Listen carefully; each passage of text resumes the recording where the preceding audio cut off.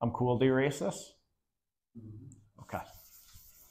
So now that we have this mathematical backing and we remember and or have learned what these things are, we can apply it to getting electron density maps and applying it to X-ray crystallography.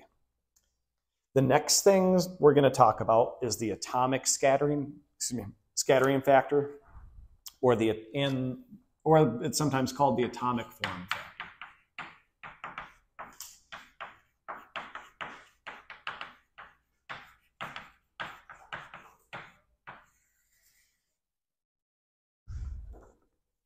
So we're going to pretend that we're looking at an atom in a unit cell.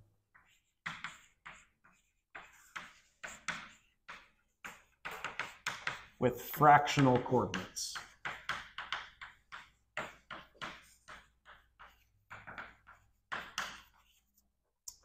What we mean by a fractional coordinate is you take wherever your displacement is divided by the lattice vector. So this is our fractional coordinate in the x direction. We're going to have wherever we are in the x, and we got to divide it by the x lattice vector. What symbol did we get to give the x lattice vector? A. Yep. So this is the fractional coordinates in the x direction. Does that make sense to people? Okay, so what would y be? We'll use v What's this one? Y. Y. Yep. And then uh, W. Z divided by what? Yes. You can show based upon phase shifts uh, that if you scatter off an atom, it can be shown at the phase shift, which we just talked about. of a wave. Scattered off of uh, that atom is, we're going to use phi for right now as a symbol.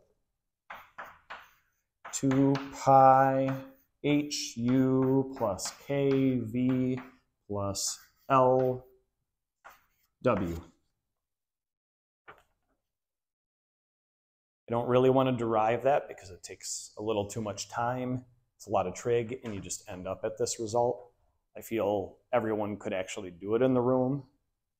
It just eats up time. Okay. 2 pi, we see that all the time. Comes from radians. We just introduced um, u, v, and w as our fractional coordinates. What the hell is this h, k, l? Yep, Miller planes. Uh, where h, k, l are Miller indices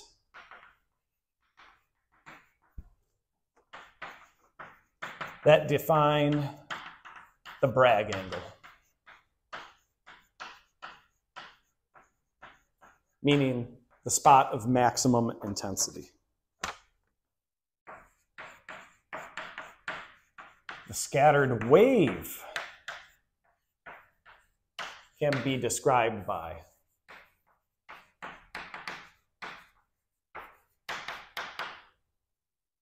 If we're talking about a wave, what mathematical function do we need to use? Could use sine. Could use cosine. What's all inclusive and better? E to the I. Yep.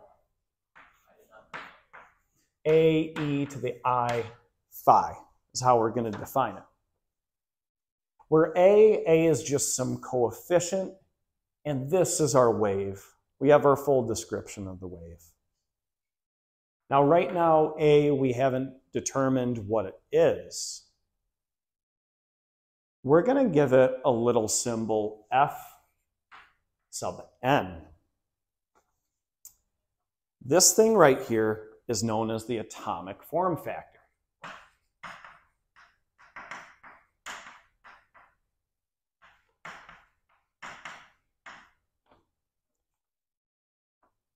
We're, we'll define it in a minute, but it depends on whatever element we're hitting.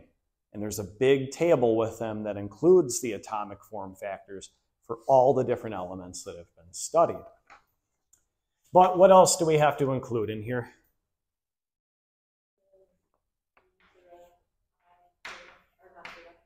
B, yep. And then if we expand that out more, we got I 2 pi times that monstrosity. HU plus KV plus LW. Okay. Where f of n And notice I'm using n's because I tried to use i's at the beginning and then I got really confused on what was an imaginary i and what was my index. So I just switched to n's. Um, f then is given by this function 0 to infinity p of r. Actually, we'll do rho of r, k r, k r, r squared dr, where k is equal to 4 pi sine of theta over lambda. Okay, where does this thing come from? It is an awful pchem 2 expression. Uh, this is a probability or an electron density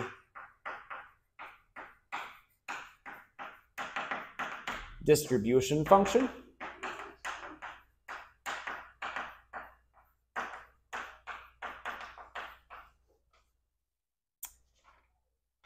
That's why it looks so pchem 2 This crap, do you know where it comes from?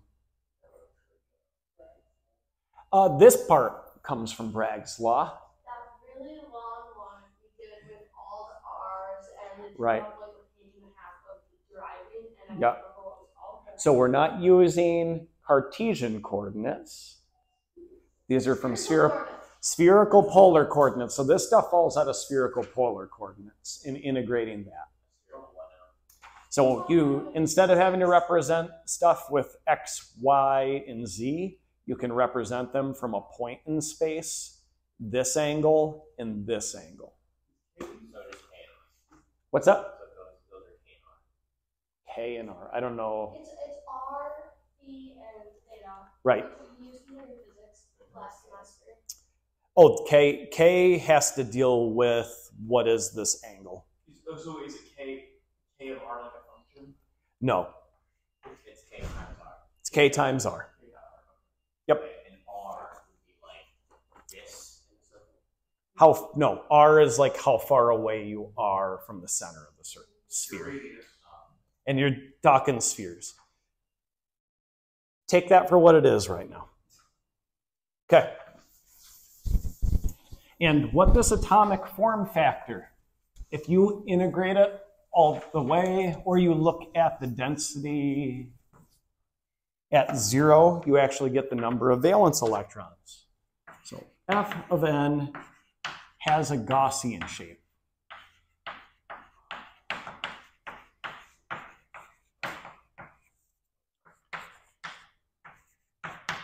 Changes based on atom.